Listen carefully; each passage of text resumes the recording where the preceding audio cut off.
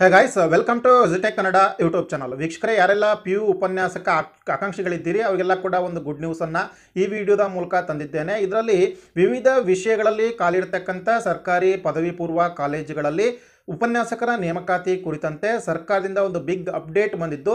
So, ಆ ಮಾಹಿತಿಯನ್ನು ಈ ವಿಡಿಯೋದಲ್ಲಿ ಶೇರ್ ಮಾಡ್ತೇನೆ. ವಿಡಿಯೋವನ್ನು ಸ್ಕಿಪ್ ಮಾಡದೆ ವಾಚ್ ಮಾಡಿ. ವಿಡಿಯೋ ಪ್ರಾರಂಭಿಸೋದಕ್ಕಿಂತ ಮುಂಚೆ ನೀವು ಇನ್ನೂ ಕೂಡ ನಮ್ಮ ಚಾನಲ್ಗೆ ಸಬ್ಸ್ಕ್ರೈಬ್ ಮಾಡದೇ ಇದ್ದರೆ ಕೂಡಲೇ ಸಬ್ಸ್ಕ್ರೈಬ್ ಮಾಡ್ಕೊಳ್ಳಿ, ಹಾಗೆ ಬೆಲ್ ಐಕಾನ್ ಕೂಡ ಕ್ಲಿಕ್ ಮಾಡಿ. ಅದೇ ರೀತಿಯಾಗಿ ನಮ್ಮ ಟೆಲಿಗ್ರಾಮ್ ಗ್ರೂಪಿಗೂ ಕೂಡ ಜಾಯಿನ್ ಮಾಡ್ಕೊಳ್ಳಿ. ಲಿಂಕ್ ಡಿಸ್ಕ್ರಿಪ್ಷನ್ ಬಾಕ್ಸಲ್ಲಿ ಇರ್ತದೆ. ಸ್ನೇಹಿತರೆ, ದಿನಾಂಕ ಹದಿನೆಂಟು ಎಂಟು ಎರಡು ಸಾವಿರದ ಇಪ್ಪತ್ತೆರಡರಂದು ಒಂದು ಪತ್ರ ಬರೆದಿರುವಂಥದ್ದು. ಅದು ಸರ್ಕಾರದಿಂದ ಈ ಒಂದು ಪಿ ಯು ಇಲಾಖೆಗೆ ಬರೆದಿರುವಂಥ ಒಂದು ಪತ್ರ. ಸೊ, ಆ ಒಂದು ಪತ್ರ ನಮಗೆ ದೊರೆತಿದ್ದು. ಇದರಲ್ಲಿ ಪದವಿ ಪೂರ್ವ ಶಿಕ್ಷಣ ಇಲಾಖೆಯ ಸರ್ಕಾರಿ ಪದವಿ ಪೂರ್ವ ಕಾಲೇಜುಗಳಲ್ಲಿ ಖಾಲಿ ಇರುವ ವಿವಿಧ ವಿಷಯಗಳ ಉಪನ್ಯಾಸಕರ ಖಾಲಿ ಹುದ್ದೆಗಳನ್ನು ನೇರ್ನೇಮಕಾತಿ ಮಾಡಲು ಅನುಮತಿಯನ್ನು ನೀಡುವ ಬಗ್ಗೆ.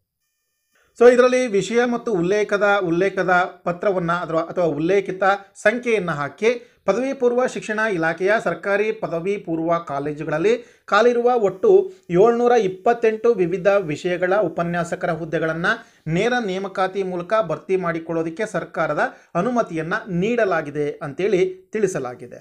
ಇಲ್ಲಿ ಉಪನ್ಯಾಸಕರ ಸಂಖ್ಯೆ ಮತ್ತು ಆ ವಿಷಯವನ್ನು ನೋಡೋದಾದರೆ ಕನ್ನಡ ವಿಷಯದಲ್ಲಿ ಒಟ್ಟು ಉಪನ್ಯಾಸಕರ ಸಂಖ್ಯೆ ಇರತಕ್ಕಂಥದ್ದು ಒಂದು ನೂರು ಹಾಗೆ ಇಂಗ್ಲೀಷ್ನಲ್ಲಿ ನೂರ ಇಪ್ಪತ್ತು, ಇತಿಹಾಸದಲ್ಲಿ ಒಂದೂರ ಇಪ್ಪತ್ತು, ಅರ್ಥಶಾಸ್ತ್ರದಲ್ಲಿ ಒಂದೂರ ಎಂಬತ್ತು ಭೂಗೋಳ ಶಾಸ್ತ್ರದಲ್ಲಿ ಇಪ್ಪತ್ತು ವಾಣಿಜ್ಯ ಶಾಸ್ತ್ರದಲ್ಲಿ ಎಂಬತ್ತು. ಸಮಾಜಶಾಸ್ತ್ರದಲ್ಲಿ ಎಪ್ಪತ್ತೈದು, ರಾಜ್ಯಶಾಸ್ತ್ರದಲ್ಲಿ ಎಪ್ಪತ್ತೈದು ಮನಃಶಾಸ್ತ್ರದಲ್ಲಿ ಎರಡು, ಗಣಕ ವಿಜ್ಞಾನದಲ್ಲಿ ಆರು, ಒಟ್ಟು ವಿವಿಧ ವಿಷಯಗಳ ಒಟ್ಟು ಏಳ್ನೂರ ಎಪ್ಪತ್ತೆಂಟು ಹುದ್ದೆಗಳ ಪಿ ಯು ಉಪನ್ಯಾಸಕರ ನೇಮಕಾತಿ ಶೀಘ್ರದಲ್ಲಿಯೇ ಆರಂಭ ಆಗುತ್ತೆ. ಸೊ, ಆರ್ಥಿಕ ಇಲಾಖೆ ಪಿ ಯು ಉಪನ್ಯಾಸಕರ ನೇಮಕಾತಿಗೆ ಅನುಮತಿಯನ್ನು ಕೊಟ್ಟಿರುವಂತಹ ಹಿನ್ನೆಲೆಯಲ್ಲಿ ಸರ್ಕಾರ ಪಿ ಯು ಇಲಾಖೆಗೆ ಈ ಒಂದು ಇನ್ಸ್ಟ್ರಕ್ಷನನ್ನು ಕೊಟ್ಟಿರುವಂಥದ್ದು.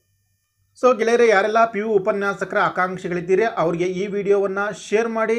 ಇದೇ ರೀತಿಯ ಅಪ್ಡೇಟ್ಸ್ಗಳನ್ನು, ಅಂದರೆ ಈ ಪಿ ಯು ಉಪನ್ಯಾಸಕರಿಗೆ ಸಂಬಂಧಪಟ್ಟಿರ್ತಕ್ಕಂಥ ಏನೇ ಅಪ್ಡೇಟ್ಸ್ ಇರ್ಬೋದು, ಅದೇ ರೀತಿಯಾಗಿ ಪಿ ಯು ಸಿ ಉಪನ್ಯಾಸಕರ ನೇಮಕಾತಿ ಹೇಗೆ ನಡೆಯುತ್ತೆ, ಯಾವ ಪ್ರಾಧಿಕಾರಿ ನೇಮಕ, ಪ್ರಾಧಿಕಾರ ನೇಮಕಾತಿಯನ್ನು ಮಾಡುತ್ತೆ. ಹಾಗೆ ಇದರ ಒಂದು ಎಕ್ಸಾಮ್ ಪ್ಯಾಟರ್ನ್ ಏನಿರುತ್ತೆ ಸಿಲೆಬಸ್ ಏನಿರುತ್ತೆ, ಮುಂತಾದ ಒಂದು ಅಂಶಗಳನ್ನು ಮುಂದಿನ ವಿಡಿಯೋಗಳಲ್ಲಿ ಚರ್ಚೆ ಮಾಡ್ತಾನೆ. ವಿಡಿಯೋ ಇಷ್ಟ ಆಯಿತು ಅಂದರೆ ಲೈಕ್ ಮಾಡಿ ಶೇರ್ ಮಾಡಿ, ನಮಸ್ಕಾರ.